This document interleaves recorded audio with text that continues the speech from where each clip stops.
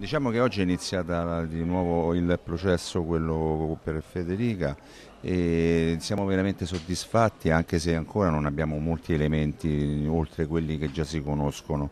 Diciamo che abbiamo aggiunto un altro tassello a questa vicenda anche perché siamo abbastanza soddisfatti di come il PM eh, ha risolto un po' di questioni burocratiche e anche difficili. E noi siamo molto eh, soddisfatti e fiduciosi della giustizia per come stanno andando le cose, certo c'è ancora da lavorare, ancora parecchio. Diciamo che un pezzo alla volta stiamo andando verso la nostra direzione.